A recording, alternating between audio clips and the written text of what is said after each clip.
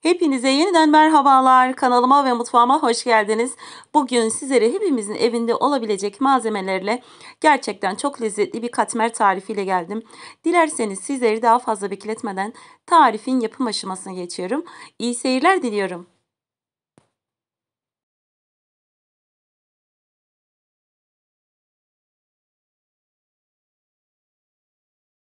Katmerin hamuru için yoğurma kasesinin içerisine 1,5 su bardağı su ekliyorum. Suyu ekledikten sonra bir tatlı kaşığı tuz ekleyip şöyle biraz tuz eriyene kadar karıştırdıktan sonra unu azar azar ilave etmeye başlıyorum. Evet katmerin hamuru için sadece un, su ve tuz gerekiyor.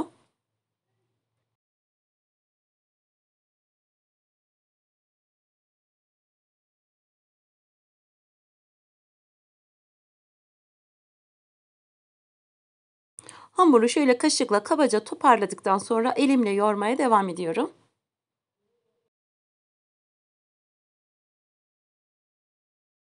Ben hamur için klasik su bardağı ile 4 su bardağı un kullandım.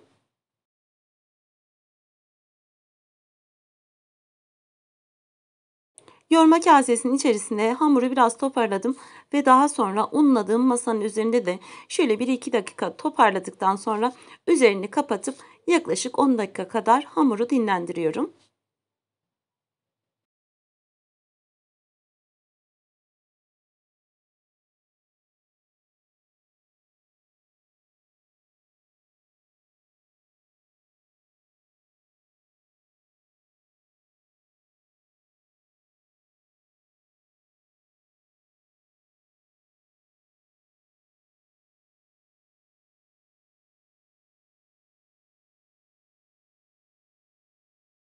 On dakika dinlendirdiğim hamurun üzerini açıp 7 eşit bezeye bölüyorum.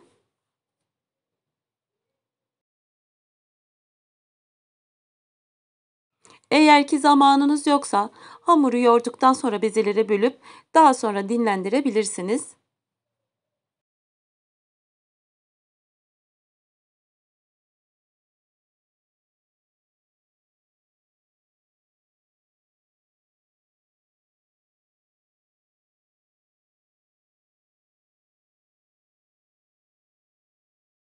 Yedi eşit beze yaptığım hamurları bir tepsinin içerisine alıyorum ve hamurların üzerini unlayıp daha sonra üzerine bir poşet kapatıp yaklaşık 20 dakika kadar dinlendiriyorum.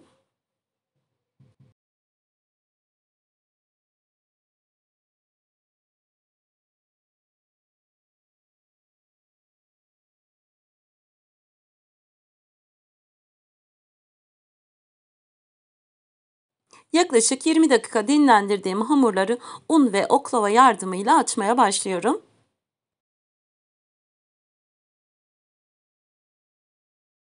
Ben hamuru açarken oklava kullandım. Benim elim oklavaya daha yatkın ama sizler aynı işlemi gerçekten kolaylıkla merdane ile de yapabilirsiniz.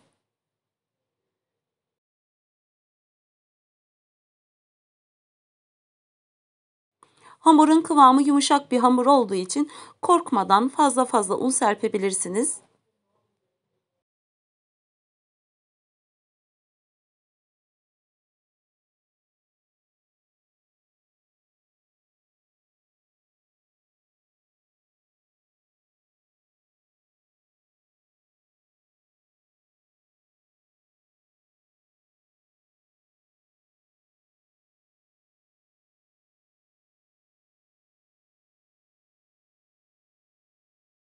Yaklaşık 60 santim genişliğinde açtığım hamurun üzerine erittiğim 150 gram tereyağını şöyle fırça yardımı ile her tarafına gelecek şekilde sürüyorum.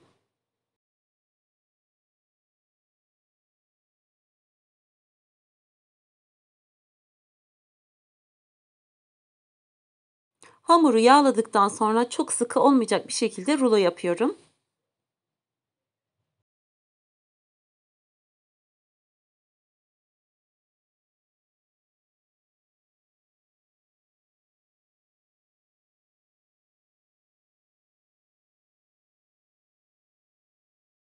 Rulo yaptığım hamuru gül böreği şeklinde katlıyorum.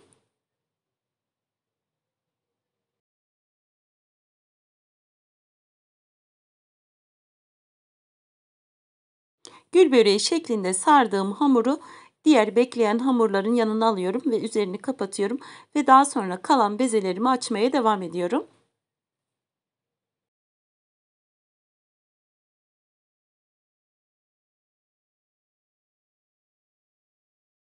Eğer siz videomu tam da buraya kadar izlediyseniz beğen butonuna basmayı ve hala kanalıma abone değilseniz abone olmayı, tariflerimden ilk siz haberdar olmanız için bildirimlerinizi açmayı unutmayın. Videolarımda aklınıza takılan bütün soruları bana sorabilirsiniz ve ayrıca yorumlarınızı, desteklerinizi bekliyorum. Kanalımın büyümesi, güzel bir yerlere gelmesi için destekleriniz benim için gerçekten çok önemli ve çok kıymetli. Beğendiğiniz videolarımı sevdiklerinizle paylaşıp bana destek olabilirsiniz.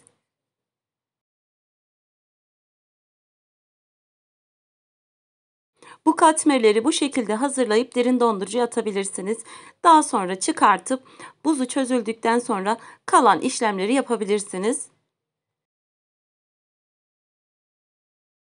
Evet size katmerlerin üzerine sürdüğüm tereyağının dibinde kalan tortuları göstermek istiyorum.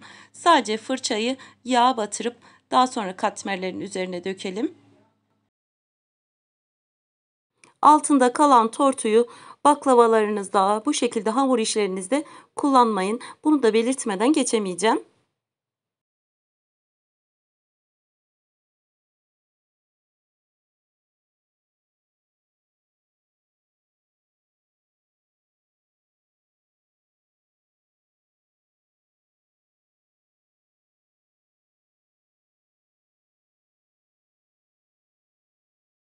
Bütün katmerleri aynı şekilde hazırladıktan sonra ilk yaptığım hamurdan ikinci açma işlemine başlıyorum.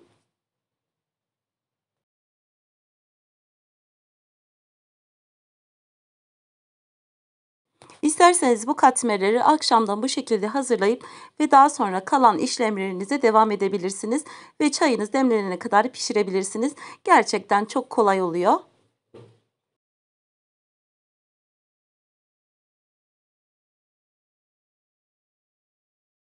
İkinci açma işleminde tavanızın genişliğine göre açın. Benim tavam biraz büyük olduğu için daha ince açtım.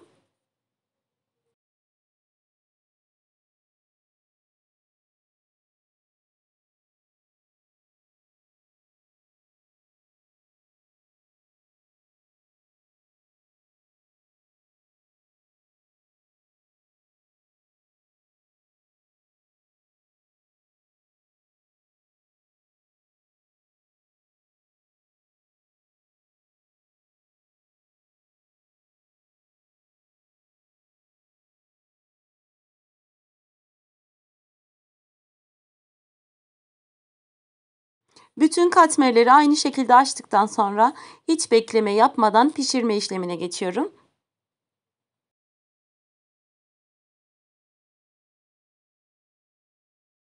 Katmerleri pişireceğim uygun bir tavanın içerisine öncelikle sıvı yağ ile biraz yağladıktan sonra katmeri tavanın içerisine alıyorum. Ve fırça yardımı ile katmerin üzerinde biraz yağladıktan sonra çevire çevire kızarana kadar pişiriyorum. Evet sizlerin de gördüğü gibi hamurumuzun içerisinde maya olmamasına rağmen katmerlerimiz çok güzel kabarıyor.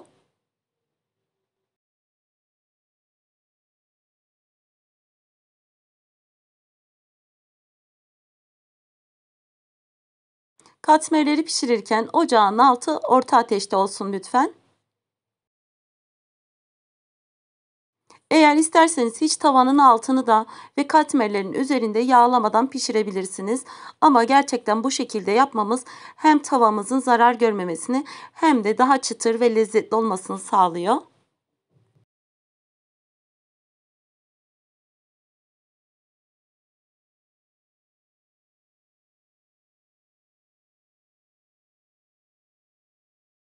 Eğer isterseniz tereyağını sürdükten sonra biraz şeker serpip daha sonra sarabilirsiniz. Öyle de gerçekten çok lezzetli oluyor.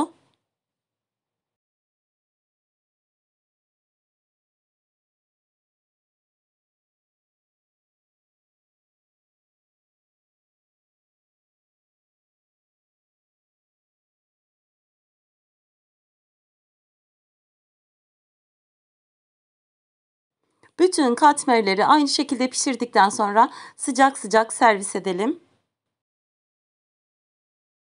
İnanın mis gibi tereyağı kokusu geliyor ve gerçekten çok lezzetli oluyor.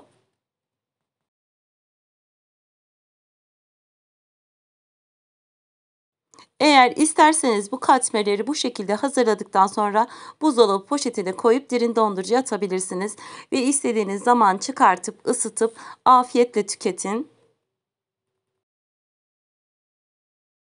Evet incecik katları tek tek sayılan katmerimiz bu şekilde hazır.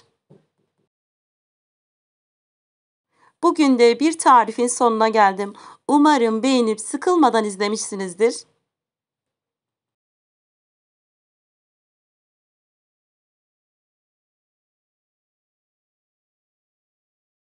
Yapıp deneyeceklere şimdiden afiyet olsun. Bugünlük de benden bu kadar. Yeni tariflerde, yeni videolarda görüşmek üzere.